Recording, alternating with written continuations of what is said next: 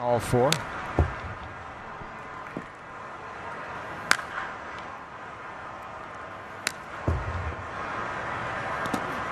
Check to swing and a full count. Randy's- 3 2. Into the season. And at the knees for strike three called, much to the dismay of Rowdy Tellez. Looked like a good pitch. He might have thrown Tellez out of the game. The way Rowdy reacted as he was headed back to dugout, he turned around, had some more words for the home plate umpire, but he may have thrown him out of the game.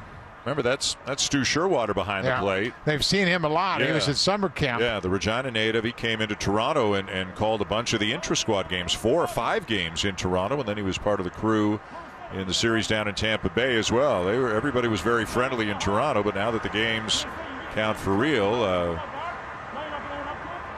tempers are a little bit short. Yeah, he's not done talking to the Blue Jays dugout. I don't think he's talking to Charlie. Maybe maybe Guillermo got kicked out of the game.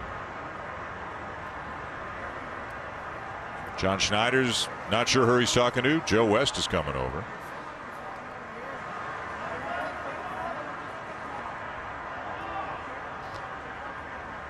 Uh, Joe West has come over from first base, and I don't know what the issue is, but I believe Rowdy Tellez has been thrown out of the game. Maybe somebody else. Guillermo Martinez, the hitting coach, is down in that well next to Dave Hudgens. I don't. We think two people got thrown out, but everybody's trying to figure out exactly who it is. Guessing Rowdy was one of them. Yeah, Rowdy had the reaction after he was headed back to the dugout as if the home plate umpire threw him out. It was a long conversation. I mean,